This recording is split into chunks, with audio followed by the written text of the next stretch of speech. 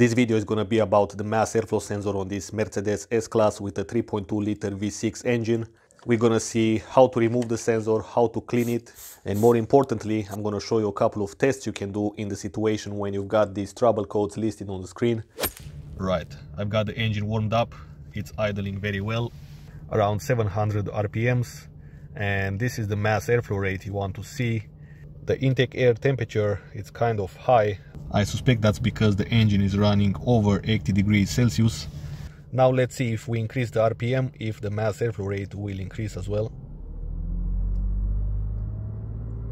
Now these are the averages per 1000 RPMs. Keep in mind that it's important to consider if the engine wants to rev up or down when the screenshots were made since the engine will first take in air and only after that the RPMs will also increase.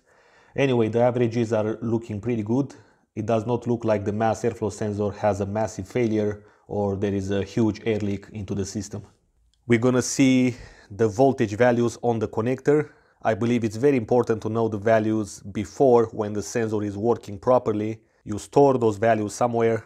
Then when you suspect that the sensor is bad, you can compare again the values and determine in that way if the sensor is wrong or if there is any problems with the connection and back here you're going to find the mass airflow sensor. Now from this point I want to unplug the connector and check the values. It doesn't want to come out. I tried. Oh, finally. Now to take out this whole assembly from here, you've got these two clips here on the side.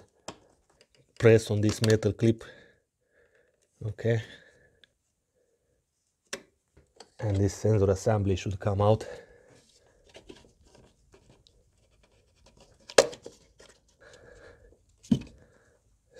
Now I've got the sensor out, the connector there, and I want to take out the sensor from this assembly.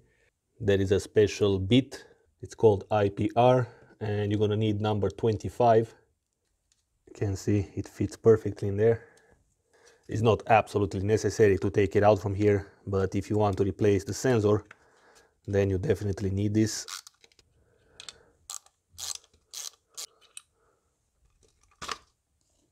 And here it comes. So let's see a little quick how this mass airflow sensor unit works. It has five pins, they are also numbered.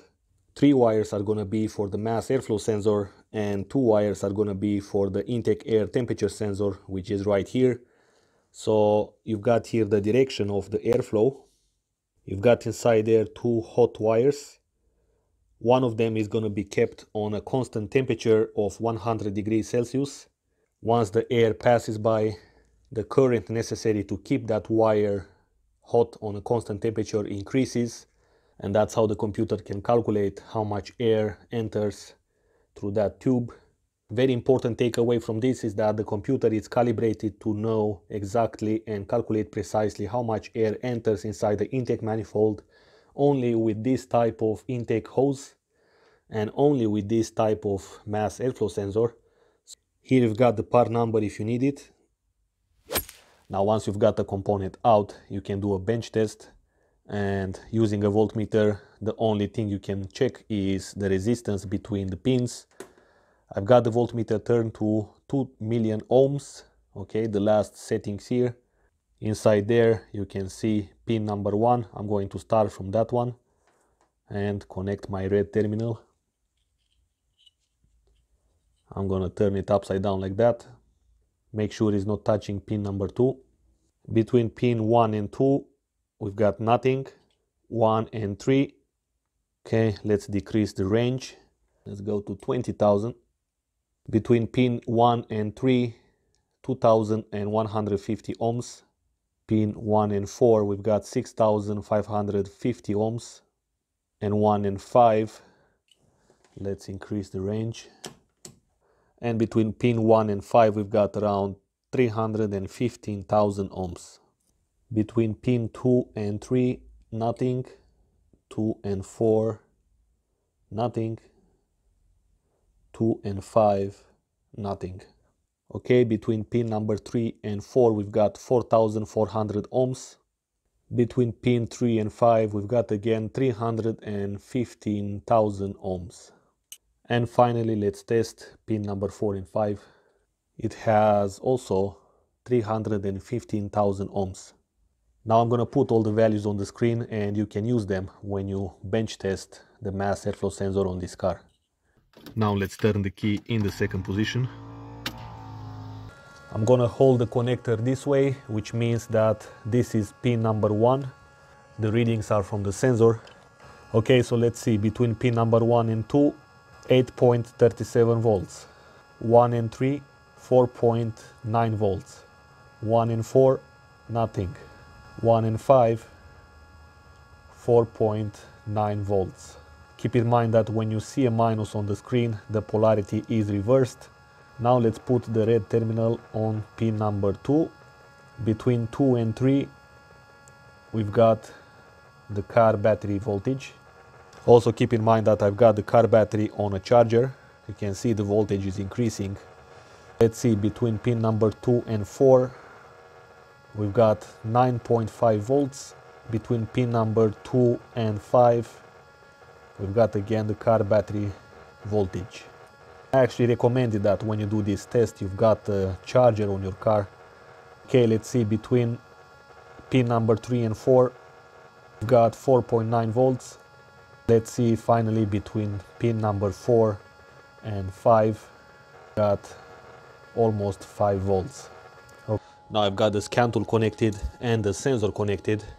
I want to see if the sensor will react when the engine is not running. If I touch a little bit the sensor, you can see the temperature increase. It will take my body temperature. However, on some cars, if you blow on the mass airflow sensor, you're gonna see some readings in there, even though the engine is not running. So I want to see that right now. There is no change in mass airflow rate.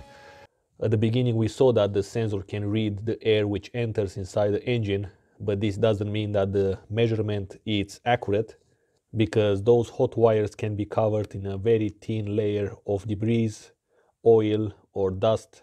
Those things can actually prevent the thermal loss of those hot wires, therefore messing up the readings of the airflow. So to exclude that possibility, we gotta clean it up. You gotta use mass airflow sensor cleaner.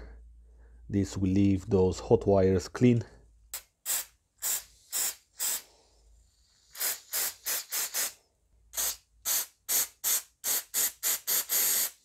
Let it dry I believe it's very important to clean as well the housing because this can contain as well a lot of dust okay just a little bit Let's place the sensor back. Make sure that the green gasket also seals.